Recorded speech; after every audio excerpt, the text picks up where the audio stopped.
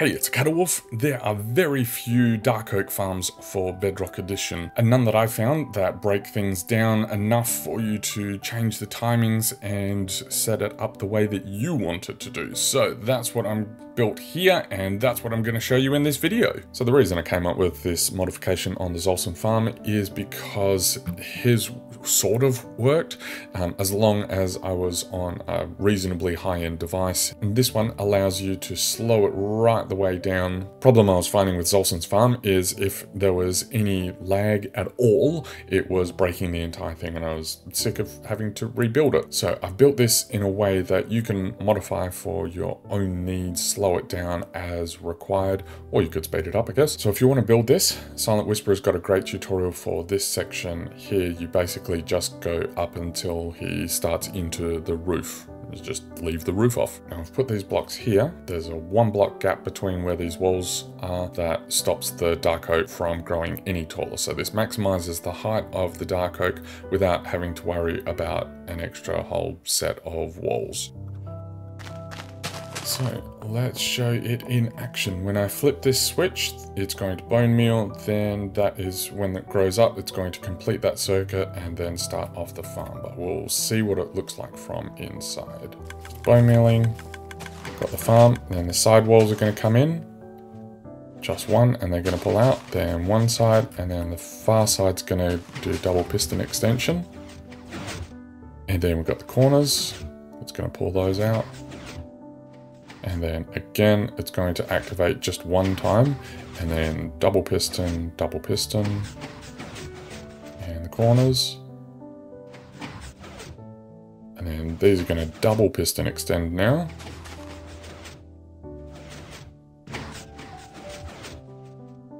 So you can see everything works in sequence. See how it drags that one out, double, and then the corner is going to grab these and pull that all the way in double piston extension. And even if there's nothing in here, it's still going to activate this so that everything still runs. So that's going to go over there, pull it in, and it's going to sit there. Now it's ready to go again. So what happens when these walls double piston extend, the redstone will then go across here, which then activates these pistons and pushes them out there to our cubers. Let's take a look how this works. So over here we have this system. So when we flick the lever, it turns this on, which starts a clock right there, which is for the bone meal. So when the tree grows, we've got to drop this block down here, which will cut the redstone line to the main and also turn off the clock. So the way that we do that, basically the line comes through here, hits this piston, which is just a regular piston, hits this piston, which pushes it into here and depowers all that. And then once the whole system has finished, we send a redstone pulse up here, which then activates this piston, which then turns the whole thing back on.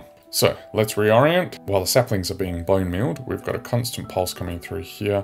When the tree grows, it then connects the redstone line and that sends a pulse through there. Comes down here, etc, etc. Comes to this contraption.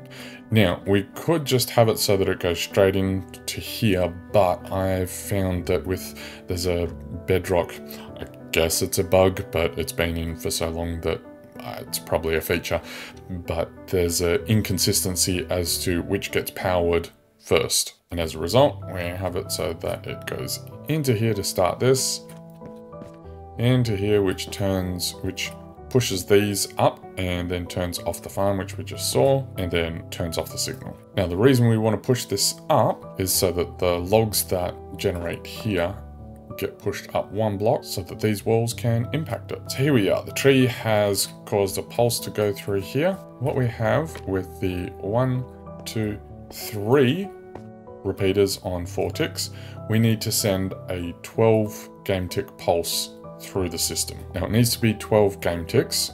Uh, that's the minimum I've found to activate each of the walls. So the 12 game ticks you want the pistons to activate. If you're having problems where the walls aren't activating for long enough, just extend this, make that longer.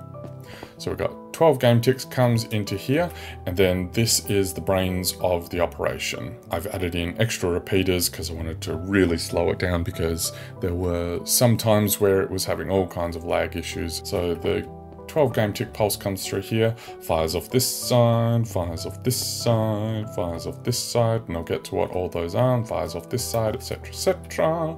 So I need this system to go four times. The way that I control that is down here. We have this setup where the line comes into this, this sticky piston which is connected to this observer. Observer's facing this way. Every time that pulses, it pulses this torch which allows an, one item to move through all of these. When the system's off, we want this item here. And then when it gets around to the far side,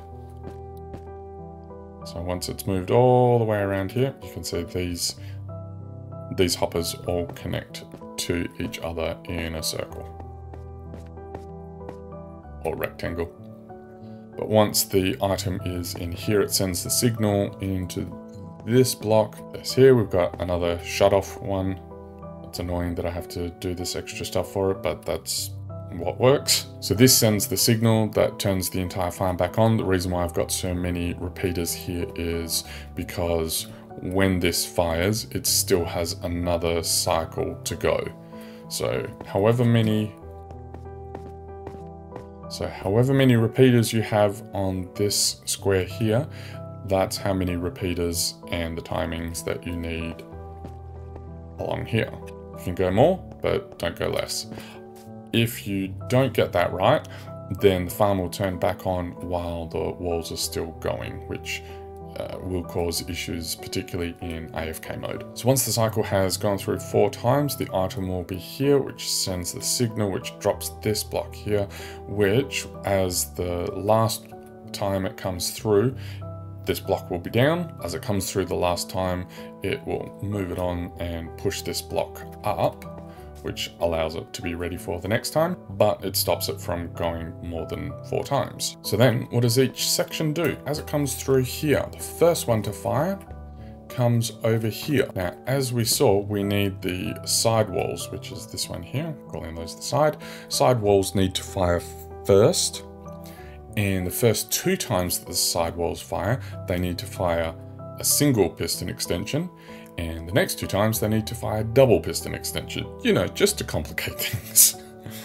so the way, way that we get that to work, first two times, the signal comes through here, and I've got the extra repeaters here because we need the same amount of repeaters going to the far side as to the near side because both of them go at the same time. So this fires into this side, which pushes up just one side, uh, to do the double piston extension, we fire it in from the far side, which fires both of them, which does the double piston extension, and that is a feature from Zolson's farm.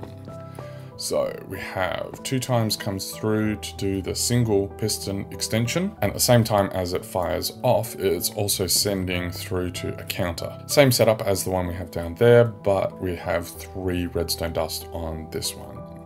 Because we need to count differently. And I've got two comparators coming out straight into two repeaters into here because we want it to fire when there's an item. The item will go here and then here. And when it does that, we want this to fire. There's a sticky piston here. So when there's an item in either of these hoppers, it sends a signal to this sticky piston, which extends and blocks the flow there, but it redirects down to here. And these signals here go to the far side, to the double extension. So they come underneath here and fires into this side, which with this redstone dust here causes both of them to extend, which is the double piston extension from Zolson's farm. So that's the sidewalls. Those are honestly the most complicated of all of them because we need to get the two. So then we have both the front and the back. We've just gone through the side walls, these two. Now we're going to look at the front activation and then the back activation. Now because of the way that the dark oak may grow, we don't want to activate both at the same time. You might have noticed that the back one was actually pushing blocks through to the far side, and that's exactly what we want. If you activate both at the same time, then there's a good chance that neither of them will activate properly. So we want to activate one, then the other. And I've chosen to activate what I'm calling the front and then the back. So that goes all the way out, all the way back, and then this one goes all the way out, all the way back.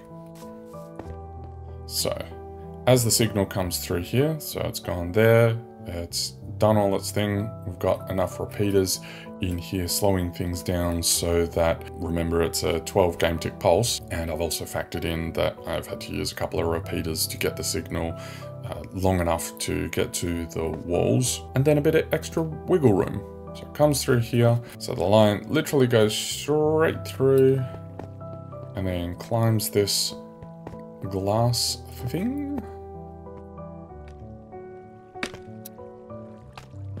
and we have one activation which activates this whole piston wall at once. So that one activates the front wall. Comes through here, activates the front wall, goes through here, which does the same thing to the back wall, and then it comes here, which comes which goes to what I'm calling the corners. These sticky pistons here are the corners, so they double extend and double retract. So it comes out and up and up and up and we got the extra repeaters here because I needed to add in enough repeaters to get them to the far side. So all it does is send a signal through to these two sticky pistons, which in combination with the honey and slime and the observers causes the sticky pistons here to double extend. And that's pretty much all there is to it. Everything else is just these cubers. So it just, this standard cubing. So it comes out, fires across.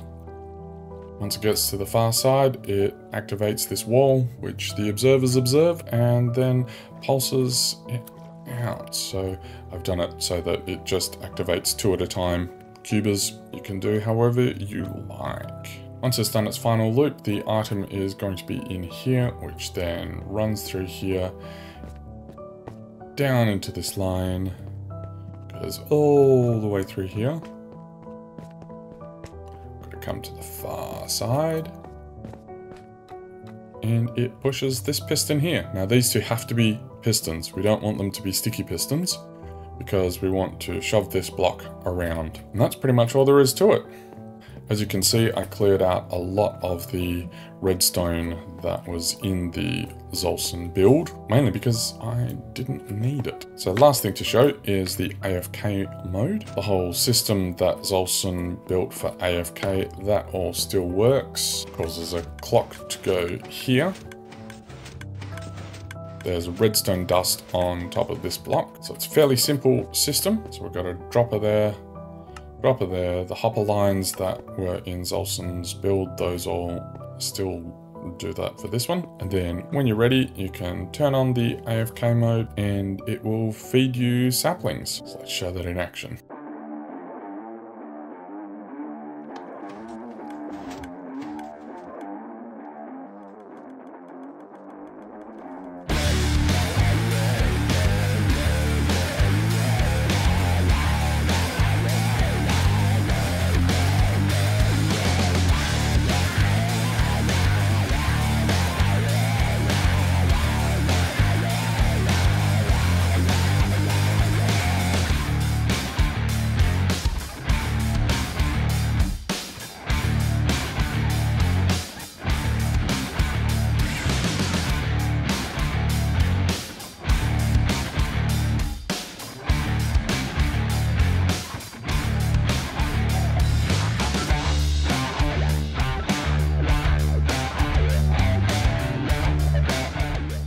Tree's grown, we've got a signal, comes out to the side, now heading to, oh, to the back, and in the corners, and then to the side, and the front, and the back, and the corners. And now you can see that the side has been cut, so it's now going to double side, front, and back, and corners. And it's going to hit the double piston extension again, stops that. This is the last sequence. Probably can't see on this angle, but it's dropped down the target block so nothing further can go through. And we're back. Ready to go for the next one. Let's do it again, just looking at the brain. Signal comes in, activates the side walls, then the front wall, the back wall, and then the corners.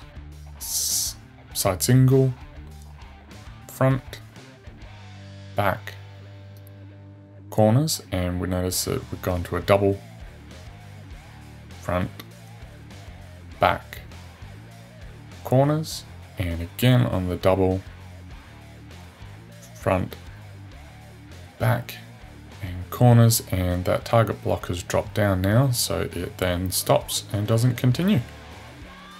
Signal then travels to the front, pushes the redstone block, and restarts the bone meal for the whole sequence to start again. Let me know in the comments if you would like me to do this as a tutorial step by step. If there's enough interest, I'll do a full video walkthrough step by step from the start. And I'll put a link in the description and in the pinned comment.